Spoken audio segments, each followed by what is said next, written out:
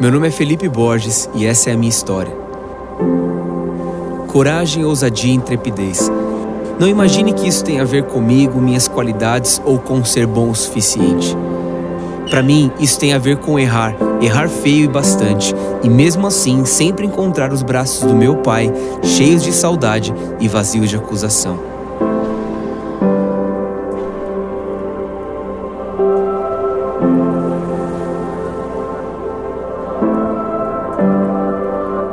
Na minha vida, a ousadia tem seu chão na incompreensível graça de Deus.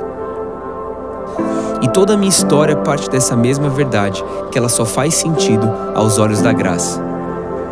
Quando um surto fatal de meningite me pega de jeito quando eu não tinha nem seis meses de idade, todos os médicos já preparavam os meus pais para o pior. Para intensificar a minha desesperadora situação, nenhuma enfermeira quis optar pelo risco de cuidar de uma criança com uma doença altamente contagiosa. Mas para Deus e para minha mãe, eu não era uma criança com problemas. Eu era um filho, e a minha mãe, sem conhecimento e sem treinamento nenhum, foi a minha enfermeira naquela UTI por 40 dias.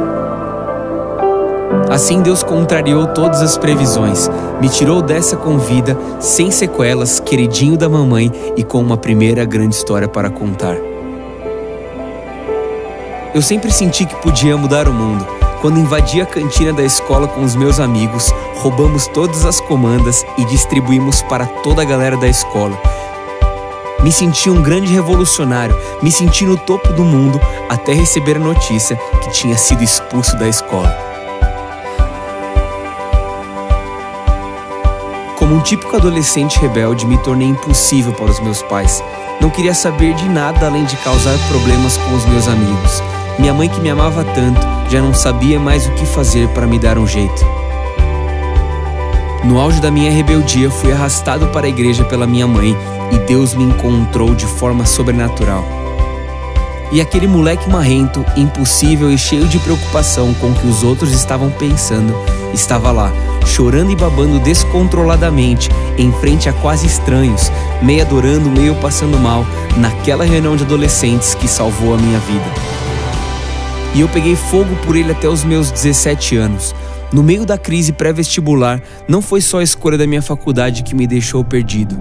Amigos, garotas e uma falsa sensação de liberdade me empurraram para as drogas, bebida e falsas curtições que me levaram para longe de Deus. Me sentia distante e sujo, uma sensação gigante de culpa apertava o meu peito e me fazia fugir dos amigos da igreja. A gente não escolhe quando encontra Deus, mas quando ele vem, ignorando os muros do pecado, passando por cima de traições e mancadas, a sua voz é irresistível. E no meio de uma festa em um sítio afastado da cidade, ele gritava o meu nome.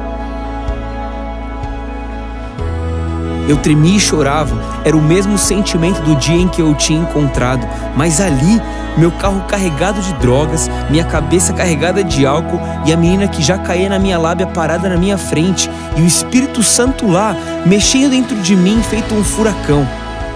Saí correndo, mas como fugir daquilo que está dentro de você? Fui para o carro e liguei o som bem alto, como que espantando algo dentro de mim, e a música dizia sem parar: Come back to me, come back to me.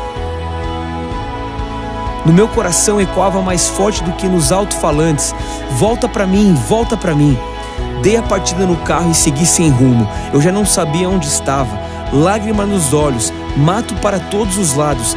Desesperadamente eu gritei: Deus, se você me tirar dessa, eu prometo que vou te seguir para sempre. Nessa hora, um carro surge do meio do nada, para do meu lado e uma janela abre e um homem pergunta aquilo que eu já sabia. Tá perdido, cara?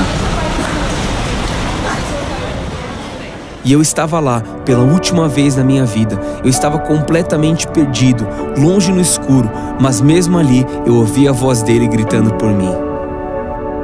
Hoje, sete anos depois, vi coisas que nunca sonhei. Fui a lugares que nunca imaginei nada, nada disso por minhas virtudes ou mérito. Eu vivo para dar passos maiores que as minhas pernas. Correr no escuro e tentar desbravar os caminhos, e de todas essas coisas no meu passado, meu presente e meu futuro, eu só tenho uma certeza: eu nunca mais darei um passo sozinho.